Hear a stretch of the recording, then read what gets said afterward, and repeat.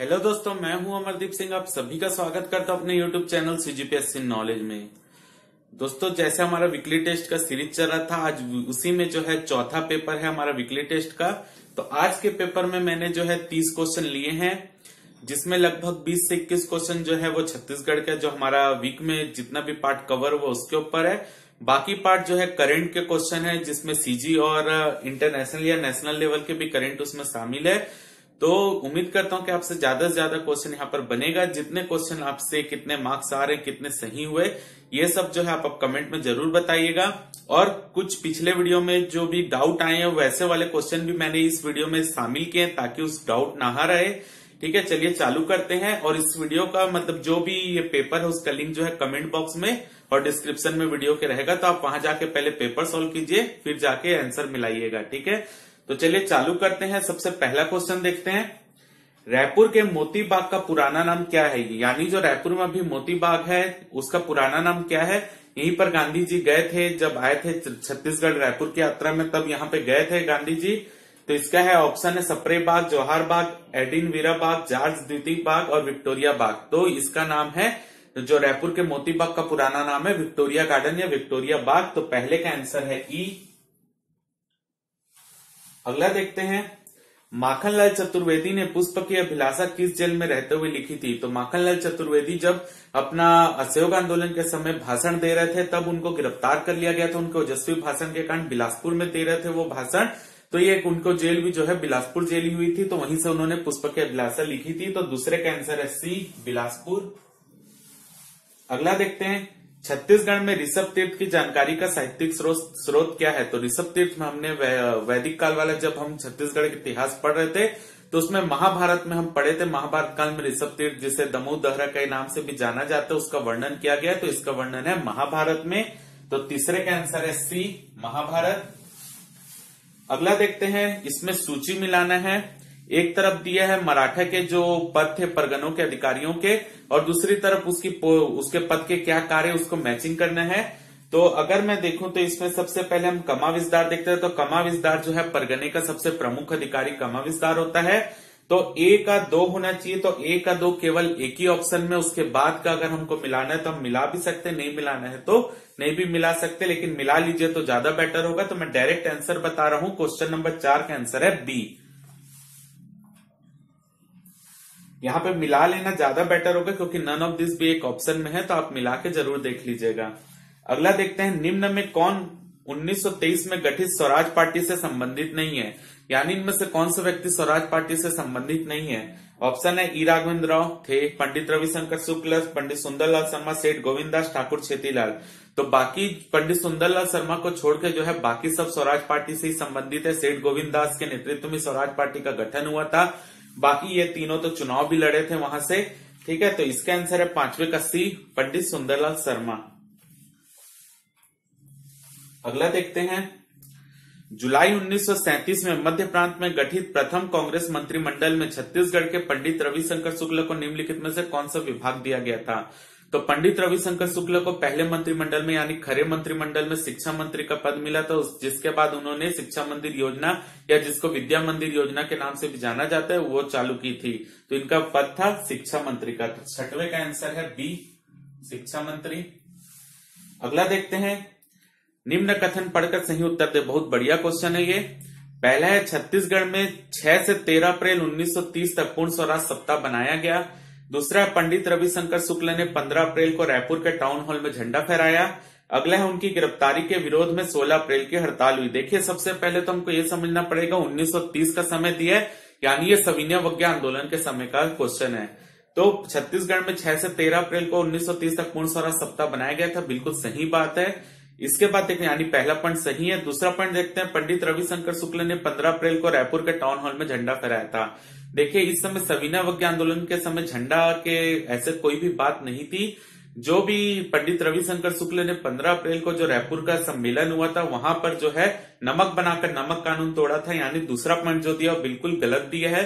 तीसरा देखते हैं, उनकी गिरफ्तारी के विरोध में 16 अप्रैल को हड़ताल हुई। ये ये भी गलत है, क्योंकि सविना वज्ञा आंदोलन के दौरान जो भी लोग गिरफ़्तार हो रहे थे, उनके लिए कोई हड़ताल नहीं हो होती उनके कार्यक्रम में ही ये शामिल था। तो उनकी गिरफ्तारी के विरोध में 16 अप्रैल को कोई भी हड़ताल नहीं हुई थी। तो इसका आंसर है सातवें का ई, यानी केवल एक। यानी पहला पॉइंट सही है। अगला देखते हैं। निम्न कथन से सही उत्तर चुने, ठीक है? तो ये जो है, पिछले बार स्टेट सर्विस का ही क्वेश्चन है। पहला लिखा है 9 अगस्त 1942 को रायपुर में कांग्रेस जनों ने जुलूस निकाला, जिसमें अंग्रेज़ों भारत छोड़ो के नारे लगाए। बिल्कुल सही पॉइंट है, ये हमने देखा भी था। अगला है, रायपुर के एक युवक रामकृष्ण सिंह ठाकुर ने नागपुर का हाईकोर्ट भवन पर तिरंगा फहराया था। तो ये ठाकुर प्यारेलाल के पुत्र थे, जो कि नागपुर में जाकर हाईकोर्ट में तिरंगा फहराया था, फिर उनको गिरफ़्तार कर लिया गया था, ये भी सही है। तीसरा है, बिलासपुर ने बिलासपुर ने लिखा है वो बिलासपुर में है, बिलासपुर में विद्यार्थियों ने 9 अगस्त 1942 को हड़ताल की। तो 9 अगस्त 1942 को विद्यार्थियों ने कोई भी बिलासपुर में हड़ताल नहीं की थी। उसके बाद जो है कालीचरण की अध्यक्षता में एक सम्मेलन किया गया था। वो हुआ था, वहाँ पे कोई भी हड़ताल 9 अप्रैल को विद्यार्थियों के द्वारा तो 9 अगस्त को विद्यार्थियों के द्वारा तो नहीं की गई थी। ठीक है, भली कांग्रेस जन के द्वारा वहाँ पर जुलूस निकाला गया था, लेकिन विद्यार्थियों द्वारा नहीं था नौ अगस्त को। तो इसका आंसर है आठवें का एक और दो, यानी बी। अगला देखते हैं हम। निम्न में से सही उत्तर दें। ये भी पिछले बार के स्टेट सर्विस का क्वेश्चन है। कई लोगों को मुस्कान पब्लिकेशन की बुक से पढ़कर ये डाउट हो गया था कि जो मैंने डेट बताई है, वो गलत बताई तो ये क्वेश्चन ही आया होगा। आप इससे डेट मैच कर सकते हैं। लिखा है 29 जुलाई 1938 को छत्तीसगढ़ के पंडित रविशंकर शुक्ल ने मध्य प्रांत के द्वितीय कांग्रेस मंत्रिमंडल का गठन किया था। बिल्कुल सही है 29 जुलाई 1938 को ही किया था। दूसरा, इस मंत्रिमंडल ने विद्या मंदिर योजना प्रारंभ की थी। देखिए, विद्या मंदिर जो योजना प्रारंभ की गई थी वो पंडित रविशंकर शुक्ल जब शिक्षा मंत्री थे, तब की गई थी। इस समय जब वो मुख्यमंत्री थे, तब नहीं की गई थी। तो दूसरा पॉइंट गलत है। तीसरा देखते हैं 8 नवंबर उन्नीस को मंत्रिमंडल ने त्याग पत्र दिया था। तो 8 नवंबर उन्नीस को ही जो है मंत्रिमंडल ने त्याग पत्र दिया था। यानी इसका जो पॉइंट है, पॉइंट नंबर जो इसका आंसर होगा, एक और तीन, यानी डी। नब्बे का आंसर है डी, एक और तीन। अगला देखते हैं सूची मिलाना है व्यक्तिगत सत्याग्रह और नेता की जो है उनमें सूची मिलाना है हमको। तो रायपुर का जो है, रायपुर से हमारे पंडित रविशंकर शुक्ल, बिलासपुर से राम गोपाल तिवारी ही है, धमतरी से छोटेलाल श्रीवास्तव ही और दुर्ग से घनश्याम सिंह गुप्त ही है। यानी दसवें का आंसर है सभी ए, यानी सभी जो सामने सामने के मैच है तो दसवें का आंसर है ए। अगला देखते हैं।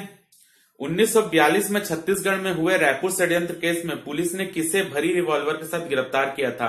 तो रायपुर षड्यंत्र केस में शिवनंदन जो थे, उनकी मुखबिरी के चलते जो है परसराम सोनी को गिरफ़्तार किया गया था, जो कि इस आंदोलन के प्रमुख नेता भी थे। तो इसका है ग्यारहवें का आंसर है बी परसराम सोनी। अगला देखते हैं। सविनय वज्ञ आंदोलन के दौरान बिलासपुर के शासकीय हाई स्कूल में झंडा किसने फहराया था? तो जो बिलासपुर के शासकीय हाई स्कूल में जो झंडा फहराने का प्रमुख कार्य किया था, वो था क्रांति कुमार भारती ने। तो बारह के आंसर है ए, क्रांति कुमार भारती। अगला देखते हैं, हरिजन उद्धार हेतु गांधी जी ने छत्तीसगढ़ का दौरा कब किया था? तो 22 से 28 नवंबर 1933 यानी नवंबर 1933 में किया था। तो तेरह का आंसर है बी, नवंबर 1933 अगला देखते हैं 1940 में रायपुर के कांग्रेस भवन का उद्घाटन किसने किया था? यह भी पेपर में आया हुआ क्वेश्चन है। कई लोगों को यह डाउट था कि उन्नीस में कांग्रेस भवन का उद्घाटन किया गया था, वो गलत है। जो पेपर में ही ये क्वेश्चन आया और मैंने भी 1940 डेट बताई थी बुक के हिसाब से राम कुमार बिहार के बुक के हिसाब से, और ये क्वेश्चन सेम पूछा गया है तो देख लीजिए 1940 में रायपुर कांग्रेस भवन का उद्घाटन किसने किया था? वल्लभ भाई पटेल ने, चौदह का आंसर है बी अगला देखते हैं, छत्तीसगढ़ में सविना वज्ञ आंदोलन के दौरान वानर सेना का गठन किसने किया था? तो देखिए, इसमें ऑप्शन में यति यतनलाल और वासुदेव देवरस भी दिया। इसने रायपुर, बिलासपुर कुछ भी नहीं पूछा है। और सिर्फ़ सविना वज्ञ आंदोलन लिख के दिया तो मैंने बताया था, अगर सविना वज्ञ आंदोलन ही दिया तो हम प्रथम सविना वज्ञ आंदोलन मानेंगे। तो उस समय वासुदेव देवरस ने वहाँ पे गठन किया था। बाकी जो यति यतनलाल जो थे, वो सेकंड सविना जब सेकंड चरण चालू हुआ था, तब रायपुर में किए थे। तो इसका आंसर है पंद्रह का डी वासुदेव देवरस अगला देखते हैं, जांजगीर शहर के जन्मदाता हैं। जांजगीर शहर सबको पता है जाजल देव प्रथम ने जांजगीर शहर की स्थापना की थी तो 16 का आंसर है ए जाजल देव प्रथम। अगला देखते हैं हम। 1938 में खैरागढ़ में कौन से दल का गठन किया गया? देखिए, ये भी पेपर में आया हुआ क्वेश्चन बहुत से लोगों ने कमेंट भी किया था कि मुस्कान पब्लिकेशन में ये डेट गलत दी हुई है या जगह भी रायपुर दी गई है तो देख लीजिए क्वेश्चन ही आया हुआ है। 1938 में खैरागढ़ में कौन से दल का गठन किया गया था? वो था सेवा दल, जो मैंने बताया था, पदुमलाल, पुन्नालाल बक्सी वाला तो सत्रह का आंसर है डी सेवा दल। अगला देखते हैं सविना वज्ञा आंदोलन के संबंध में छत्तीसगढ़ में निम्न घटनाओं में से सत्य घटना बताइए। यानी छत्तीसगढ़ में कौन सी घटना हुई थी सविना वज्ञा आंदोलन के दौरान? पहली है, इस आंदोलन के दौरान गांधी जी ने छत्तीसगढ़ की यात्रा की।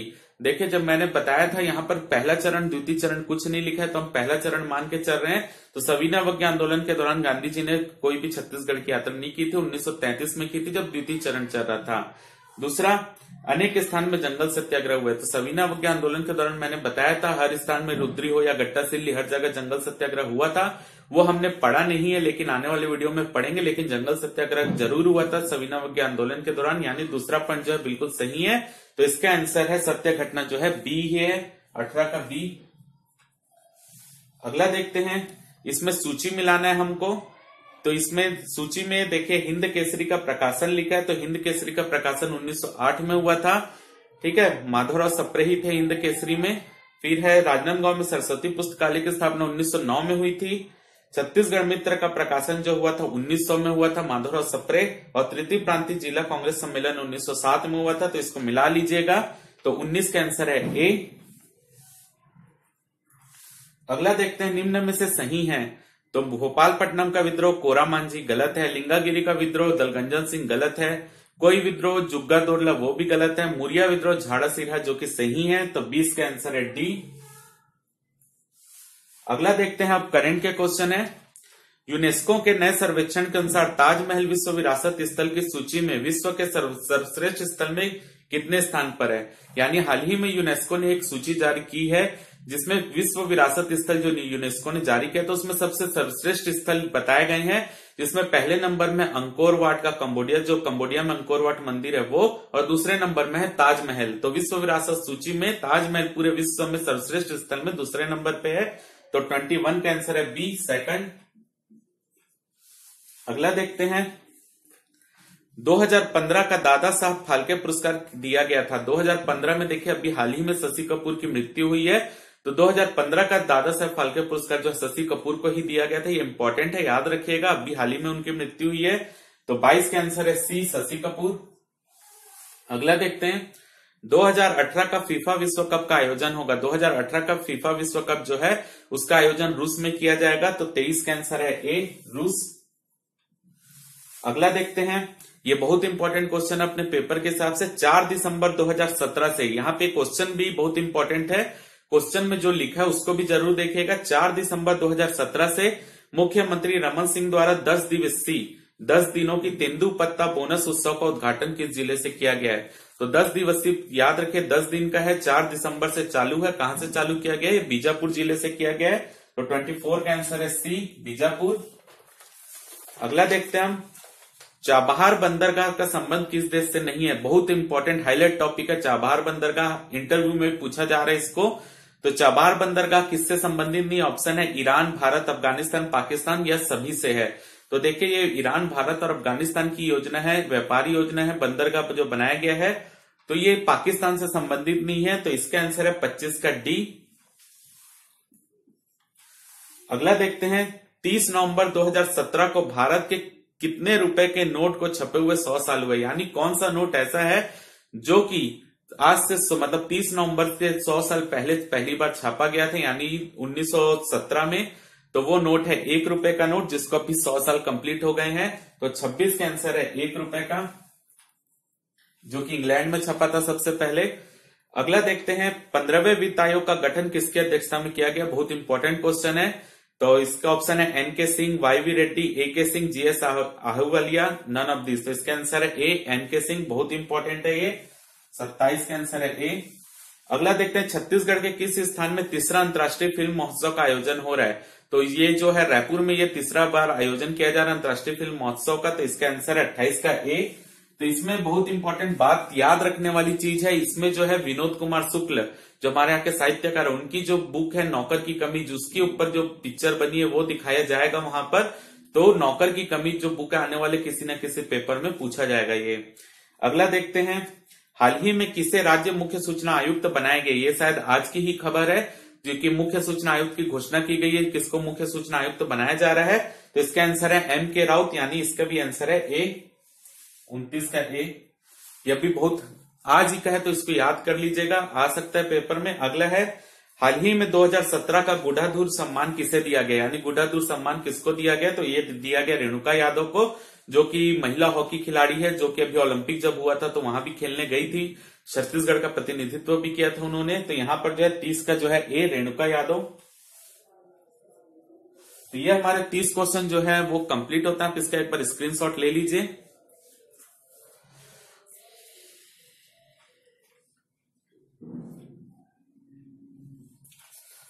तो उम्मीद करता हूँ कि आपसे ज़्यादा से ज़्यादा यहाँ क्वेश्चन बने होंगे। कितने क्वेश्चन आपके बने, ज़रूर वीडियो के कमेंट में बताइएगा। बाकी जो हमारे वीडियो सीरीज़ चल रही उसका अगला पार्ट हम कल के पार्ट में, कल के वीडियो में कवर करेंगे। तो उम्मीद करता हूँ कि आज का वीडियो जो है आपको पसंद आया होगा। अगर वीडियो अच्छा लगा हो तो वीडियो को ज़रूर लाइक कीजिए। चैनल को सब्सक्राइब कीजिए। ज़्यादा से ज़्यादा शेयर कीजिए। फ़िलहाल के इस वीडियो में सिर्फ़ इतना ही। जय भारत, जय छत्तीसगढ़।